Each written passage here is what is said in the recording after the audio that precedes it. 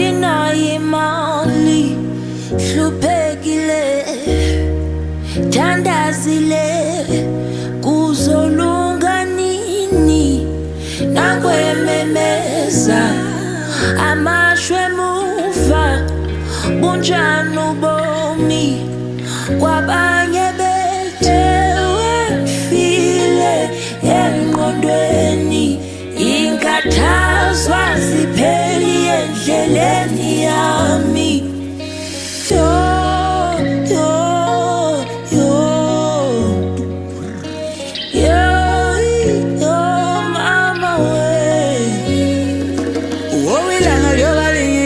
njalo ziyophenduka imvula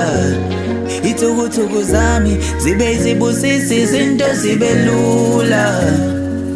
Asekuphele iminyaka amathuba empumelelo embuza ngikhala kuwe mdali wami nawe thonga lami please pendula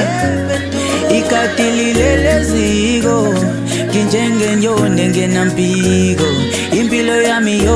ngisebenzela ukufeza ezigama imifiso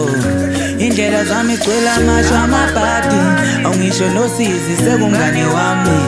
ye kwakhalanyoni indlozi lami awungoba sengibasathe akuhlangani